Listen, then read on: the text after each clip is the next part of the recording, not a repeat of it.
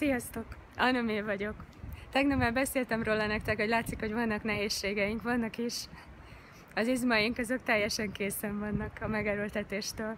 Gábor kérdezte tőlem tegnap, hogy mit fogok ma megosztani, azt, hogy hú, ennyire ki vagyunk. És mondtam, hogy igen, legyünk őszinték, ennyire ki vagyunk. A karunkat alig bírjuk felemelni, de biztos, hogy jóra vezet. Nagyon szépen köszönöm ezt a sok jó kívánságot, amit kaptam tőletek. Ez az igazság, hogy sírtunk rajta Gáborral. Hálásan köszönöm, hogy ennyire velem vagytok, meg hogy így együtt vagyunk ebben az egészben. És biztos halljátok a hangomat. Lehet érezni, hogy a hangom saját életet él.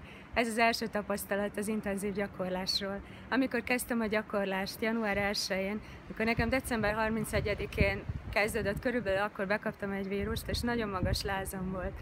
Biztos ismeritek, amikor az embernek ilyen zöld trutyi jön az órából, és teljesen nagyon van csapva, na az voltam én. És január 1-én, hogy elkezdtem a gyakorlást, lehetett érezni, hogy, hogy így átsuhanok az egészen.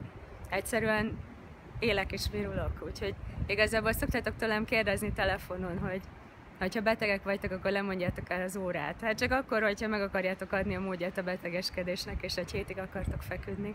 Mert az a tapasztalat, hogy a, az intenzív gyakorlás az segít. Igazából holnap is találkozunk, nagyon érdekes dologról fogok nektek beszélni. Arról, hogy mi a fenéért csináljuk mi ezt az egészet. Mert hogy az nyilvánvaló volt, hogy otthon is gyakorlunk eleget.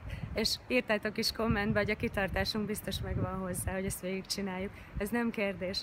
De valami célja van, holnap elmondom nektek, hogy micsoda. Nagyon szépen köszönöm, hogy velem vagytok. Nagyon szeretlek benneteket. Sziasztok!